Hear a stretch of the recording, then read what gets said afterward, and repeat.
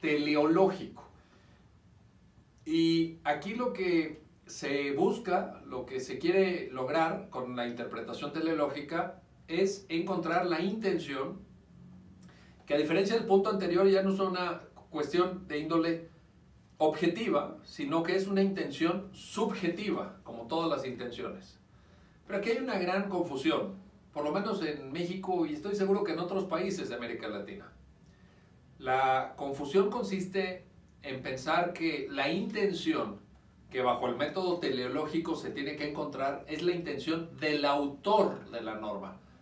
Y entonces esto nos lleva a peligrosas eh, soluciones interpretativas, a peligrosos atajos hermenéuticos, como esos que se refieren en actos administrativos, en sentencias, en iniciativas legislativas o en dictámenes del legislador, de esos que se refieren al espíritu del constituyente, al espíritu del legislador.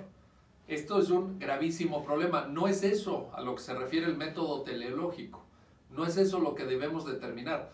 Lo que sí podemos, bajo esta óptica, es buscar la intención subjetiva, pero no del autor de la norma, sino de la norma jurídica.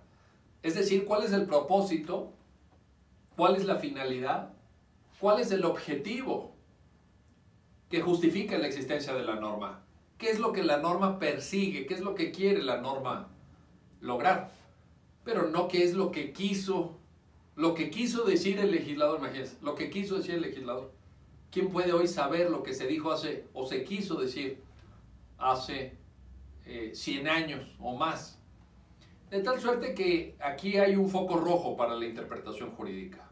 Tenemos que estar alertas para no caer en estos engaños que lo único que hacen es sustituir la decisión que tiene que tomar el autor de la norma por la decisión del intérprete. Y esto es muy peligroso, porque entonces no hay ninguna barrera entre interpretar la norma y crear la norma. Y yo creo que esta barrera se tiene que mantener en un Estado democrático de derecho.